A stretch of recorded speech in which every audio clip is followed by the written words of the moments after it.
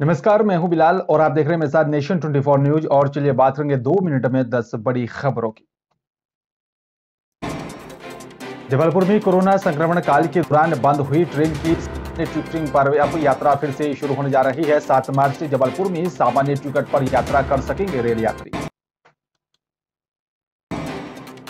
छिंदवाड़ा रूस और यूक्रेन के बीच चल रहे लगातार युद्ध के बीच तो फंसी छिंदवाड़ा की इशिका ने वीडियो जारी कर भारत सरकार से मदद लगाने की गुहार।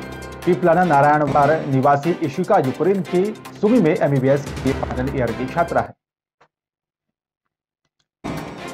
बुरहानपुर में सेकंड ईयर की छात्रा ने अज्ञात कारणों के चलते अपने ही घर में दुपट्टे से कूदा चढ़कर फंदा बांधकर अपनी जीवन लीला को समाप्त कर लिया है। इस समय घर में परिवार का कोई सदस्य मौजूद नहीं था।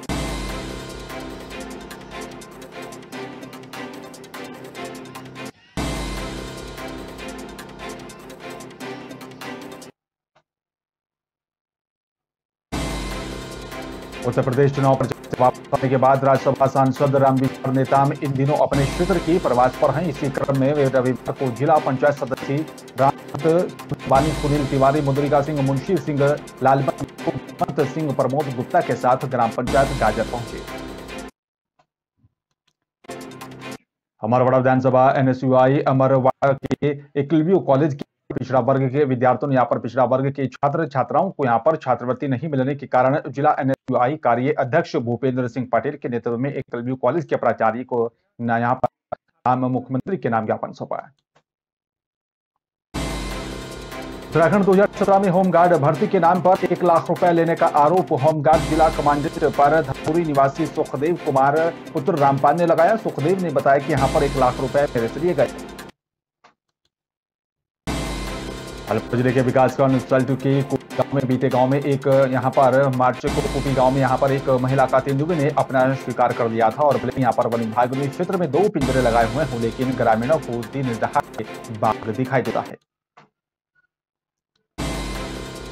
पुलिस और साथ ही यहाँ पर साइबर सेल ने क्षेत्र में हुए करीब 25 मोबाइल को बरामद कर उनके मालिकों को सुपुर्द कर दिया है। मोबाइल पाकर लोगों के चेहरे भी खेल उठे और साथ उन्होंने यहाँ पर पुलिस का धन्यवाद कर उनके कार्य की प्रशंसा की।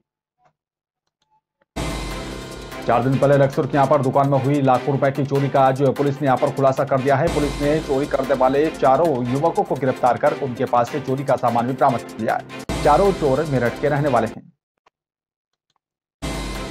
प्रदेश में कोरोना महामारी का प्रकोप कम होने के बाद स्वास्थ्य विभाग ने अब मिशन इंद्रधनुष पर फोकस करना शुरू कर दिया है। मिशन के तहत खासतौर पर उन बच्चों के टीकाकरण पर ज़्यादा ज़ोर दिया जा रहा है जो ड्रॉप आउट है। इसी के तहत आज विभाग ने मेगा टीकाकरण सेशन साइट की उद्घाटन किया।